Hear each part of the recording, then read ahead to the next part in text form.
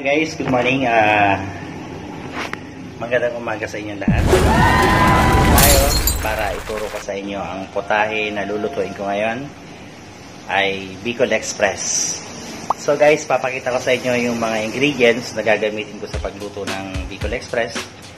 So, iisa-isahin natin or ipapakita ko lahat sa inyo. So, don't forget to subscribe and follow my channel para matuto kayo kung paano lutuin ang iba't ibang potahe. So guys, ito yung mga gamit, gagamitin ko sa pagluto ng Bicol Express. So guys, ito yung pork, sitaw, sugar, paminta, asin, bechin, bawang, sibuyas, luya, sili labuyo, alamang, pangalawang gata, at unang gata. So yun guys, nakita nyo na lahat ang gagamitin kong ingredients sa pagluto. So, step by step yung gagawin ko para masundan nyo kung paano siya lutuin. So, stay tuned lang guys. So, guys, tuloy-tuloy tayo. Uh, mainit na yung mantika para sa Bicol Express. Guys, panoorin nyo maigi kung paano yung gagawin kong pag-iisa. Unang-unang ilalagay yung luya. Luya muna guys, ang unang ilalagay.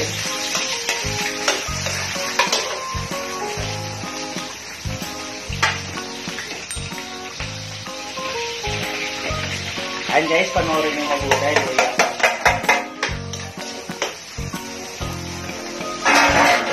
Tapos, tapos yan guys, pag nailagay nyo na yung luya, kunting halo lang, sunod nyo na yung sili na buyo.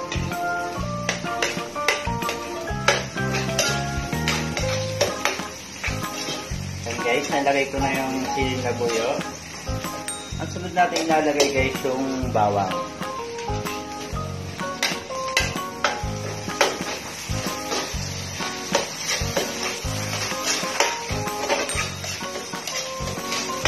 Isradil. Pagkatapos ng bawang guys, syempre sunod natin yung sibuyas.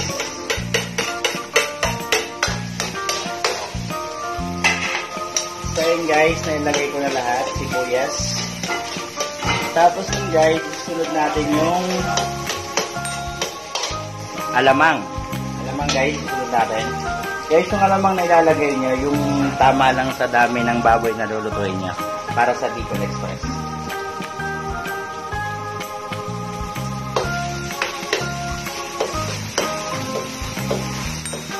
Ayan guys.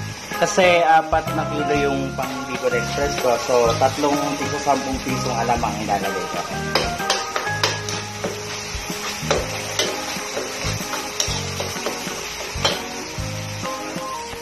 So guys, matapos yung gisahin yung ano ba, yung alamang. So, dito nang ilagay ang pork.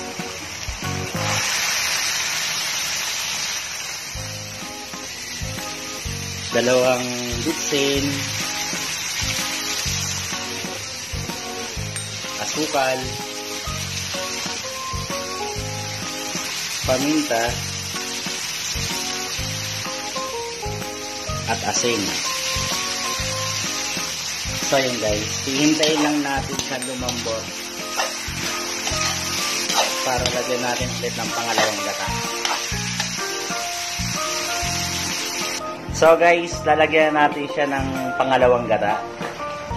Ito na yung pangalawang gata guys. Buhos natin.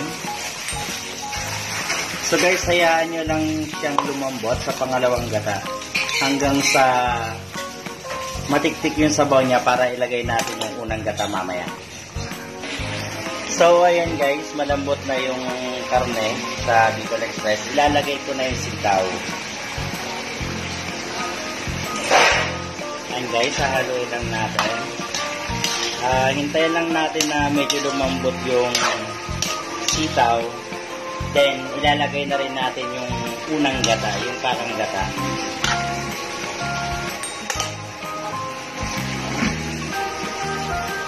So, ayan guys, pwede na natin ilagay yung unang gata. So, ayan guys, kasi konti na lang yung sabaw niya. So guys, pag nilagay niyo yung unang gata, wag na wag niyo siyang hahaluin para hindi siya magtubig. So ang gagawin niyo guys, ihinaan niyo lang yung apoy.